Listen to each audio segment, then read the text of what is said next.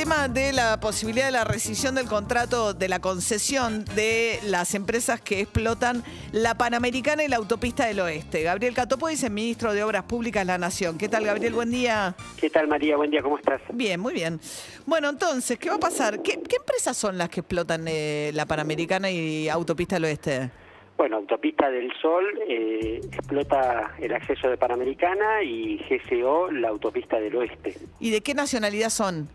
No, es una composición, es una UTE donde hay distintos grupos. UTE es Unión Transitoria de Empresas. con distintos grupos. De distintos. Pero eh, Macri en su momento, las empresas de Macri formaban parte de la UTE que explotaba Autopista del Sol, ¿no? Claro, exactamente. Y en la época de Macri, digamos, salieron, digamos, ya la familia Macri ya no tiene nada que ver con la explotación de Autopista del Sol. No tiene nada que ver, sí, este, siempre estuvo observado el aumento de tarifas eh, un, tiempito anterior a que ellos vendan la participación accionaria.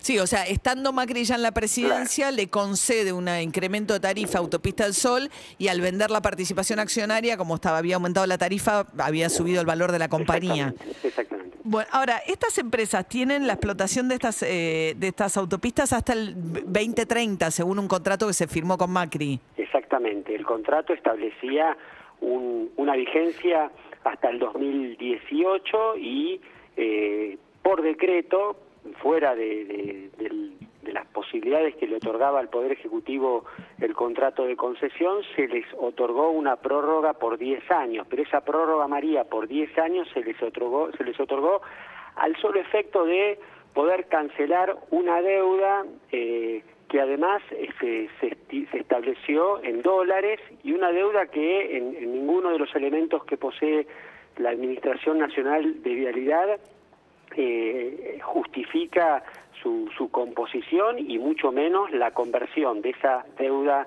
eh, de pesos a dólares, siendo que había ya un marco legal en Argentina de la especificación, que, establecía la especificación de todos los contratos. O sea, el Estado dijo, yo te debo 700 millones de dólares, entonces te dejo explotar las autopistas 10 años más. Eso fue un poco lo que hicieron. Sí, le dijo varias cosas. Le dijo, por un lado, que este, le, reconocía una deuda que, insisto, no, no, no existen elementos objetivos claros que eh, determinen cuál fue el, el origen de esa deuda se les este, otorgó esa prórroga, se garantizó que en el marco de esa prórroga sean los usuarios los que tengan que pagar esa deuda, para pagar esa deuda, por supuesto, la manera que tenían las empresas y que tienen las empresas de cobrarla es a través de las tarifas. Eso, por supuesto, estaría implicando que una tarifa de 60, 70 pesos pase a este, 600 pesos si tuviésemos que cumplir con este, la curva de, para el repago de la deuda. Y lo más grave de todo es que un contrato que era de obra y concesión por acceso se transformó en un pagaré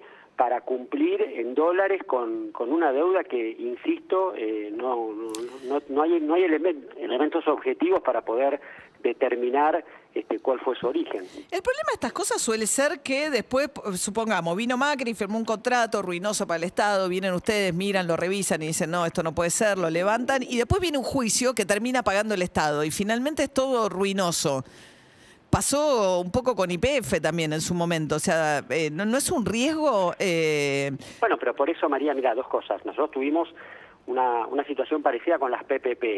Eh, e iniciamos una revisión de, contratos. Las empresas de participación público-privada, que era esta modalidad de la época de Macri de, ¿no? de hacer obra pública. hacer obra con financiamiento privado en dólares. Nunca llegó el financiamiento privado, nunca se hicieron las, las obras, pero estaban firmados los contratos. Tanto en el caso de las PPP como en este caso lo que hay es una lógica. Son contratos que están escritos para que este, sean sea el sector privado el que siempre tenga las prerrogativas. Está bien, pero después van a la justicia, ganan en la justicia. Bueno, en el caso de las PPP te estaba diciendo, nosotros logramos la rescisión de todos esos contratos sin ninguna posibilidad, porque así está establecido en la rescisión que se firmó, que ellos puedan hacer ningún reclamo, ni en tribunales nacionales ni en tribunales internacionales. Y hoy las obras se están haciendo a mitad de precio de lo que estaba establecido en las PPP. En el caso de los peajes, estuvimos dos años trabajando, conformamos una comisión, hicimos una auditoría y vamos a dar todos los pasos que tengamos que dar, por eso no estamos decretando ahora eh, ni la estatización ni la anulación del contrato. Simplemente se hizo una auditoría, se le dio vista a las partes, se van a cumplir todos los los, eh, toda la instancia administrativa que se tiene que cumplir y se da, se da luego la justicia la que determine si corresponde o no corresponde este, la rescisión. Lo que sí nosotros vemos son elementos muy claros de una prórroga ilegal, un contrato que era de concesión y de obras, tenían que hacer obras en el marco del cobro del peaje, eh, transformaron ese contrato de vuelta en un pagaré a sola firma.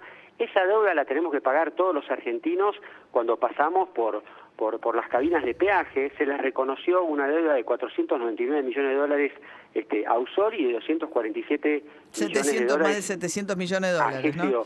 Con una actualización del 8% anual, es decir, una renta extraordinaria en dólares este, cuando realmente no no hay ningún elemento. Y bueno y recordemos que también nota al pie este bueno sufrió de alguna manera la, la renuncia la remoción de este el jefe de los abogados del macrismo Balvin que se opuso expresamente a esta a esta prórroga.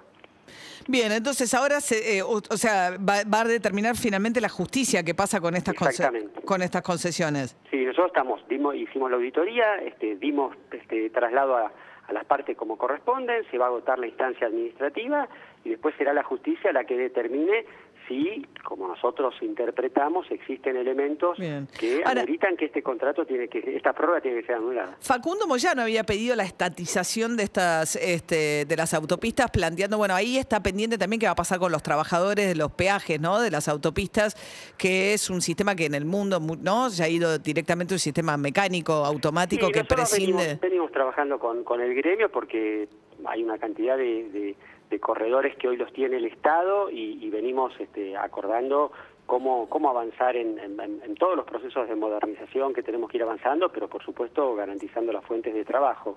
En este caso me parece que, el tema es, es, muy claro, es poder identificar este, cuál, cuál, cuál fue el motivo de esa deuda, cuál fue la, la composición, cómo llegaron a, ese, a, ese, a ese monto, por qué se dolarizó una deuda que era en pesos. Es un contrato que no tiene ningún elemento dolarizado, ningún insumo dolarizado. Cobrar peajes no, no tiene ninguna explicación de por qué tiene que reconocerse en dólares con una renta del 8% anual y que además se le otorga por decreto una concesión. Se podría haber discutido la deuda, pero el contrato terminaba en el 2018 y ese en ese momento se tendría que haber realizado según nuestra interpretación. Gabriel Catopo, ministro de Obras Públicas de la Nación. Gracias y buen día. ¿eh? Gracias, María. Hasta luego. 7 y 23 de la mañana, ya empezó a amanecer, ¿eh? a clarear un poquito el cielo, va a ser un día puro sol.